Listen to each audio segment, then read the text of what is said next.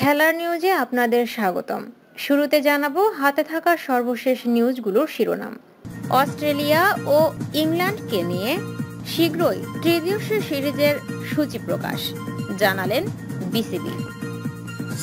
এবারে জানাব বিস্তারিত। আশা করছি পুরো সময় আমাদের সাথে থাকবেন। চলতি বছর ভারতে বসবে টি টোয়েন্টি বিশ্বকাপের আসর। বিশ্ব আসরে মাঠে নামার আগে ঘরের মাঠে তিন বড় প্রতিপক্ষের বিপক্ষে খেলবে বাংলাদেশ। তামিম ইকবাল, সাকিব আল হাসানদের বিপক্ষে খেলতে আসছে অস্ট্রেলিয়া এবং ইংল্যান্ডের মতো দল।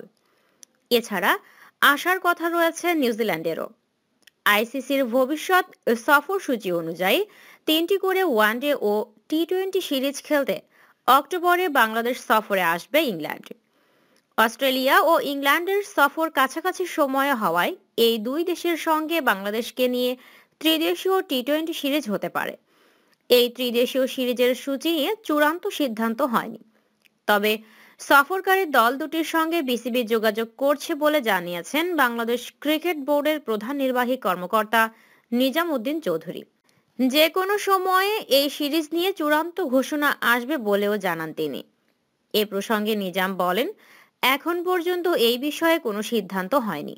এই খেলাগুলো ভবিষ্যৎ সফর পরিকল্পনায় ধরা আছে। দিন তারিখ এখনও নিশ্চিত হয়নি। এসব নিয়ে বাংলাদেশ ক্রিকেট বোর্ড সফরকারী দলের সঙ্গে যোগাযোগ করছে। হয়তো যে কোনো একটা সময় আমরা এসব আনুষ্ঠানিকভাবে ঘোষণা দেওয়ার মতো অবস্থায় আসব।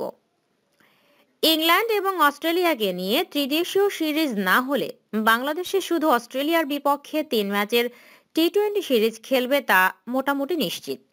নিউজিল্যান্ডও একই সংখ্যক টি টোয়েন্টি ম্যাচ খেলার জন্য বাংলাদেশ সফর করবে। আইসিসি টেস্ট চ্যাম্পিয়নশিপের দুটি টেস্ট খেলতে গত বছর বাংলাদেশে আসার কথা ছিল অস্ট্রেলিয়া ও নিউজিল্যান্ডের। কোভিডের প্রকোপে স্থগিত হয়ে যায় দুটি সিরিজেই। এরপর ক্রিকেট অস্ট্রেলিয়া জানিয়েছিল টি টোয়েন্টি বিশ্বকাপের আগে বাংলাদেশে সংক্ষিপ্ত ফরম্যাটের সিরিজ খেলবে তারা।